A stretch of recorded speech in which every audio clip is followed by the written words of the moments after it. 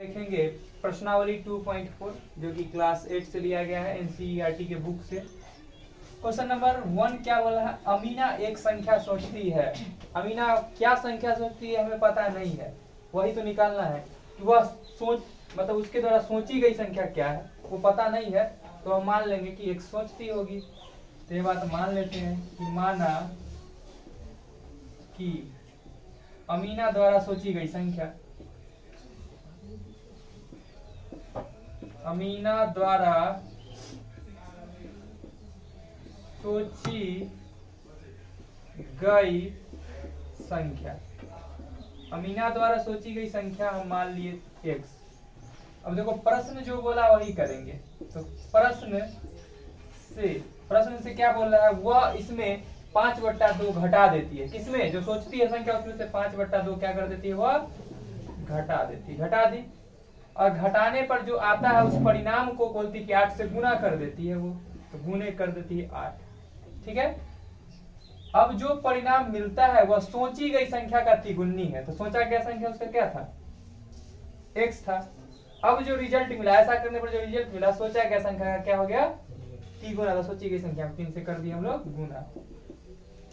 यहाँ देखो, x minus five by two बराबर थ्री एक्स जो सट्टा सो गया बट्टा।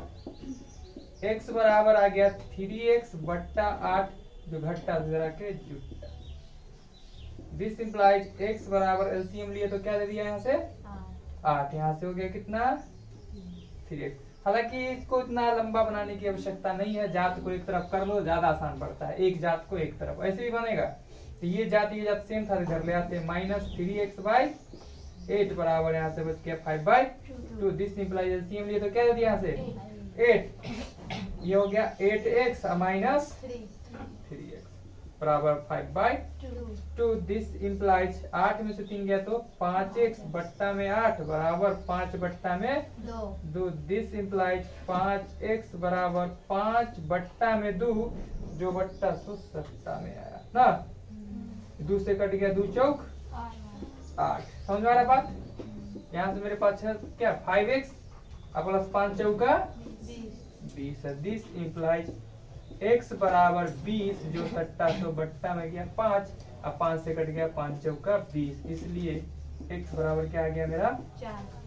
अमीन अमीना द्वारा सोची गई संख्या क्या हो गई? तो लिख देंगे अतः अमीना द्वारा सोची गई संख्या सोची गई संख्या बराबर कितना? चार। तो यही होगा मेरा फाइनल आंसर चलो इसको नोट कर लो।